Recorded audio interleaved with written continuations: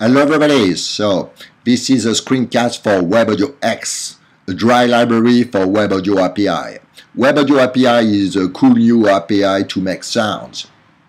This is especially good if you got a game, because you can have precise control over the sound, over the filters going to it, you got convolvers, you got echo, you got whatever you want you can uh, have directional sound you can hear sound on the left on the right behind you above you blah blah blah.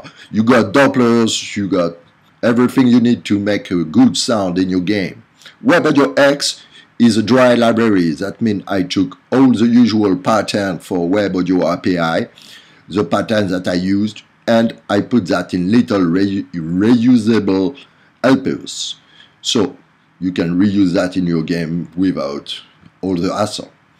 I'm gonna post one post per week about this library until it is over. And uh, I hope we're gonna enjoy ourselves. See ya people.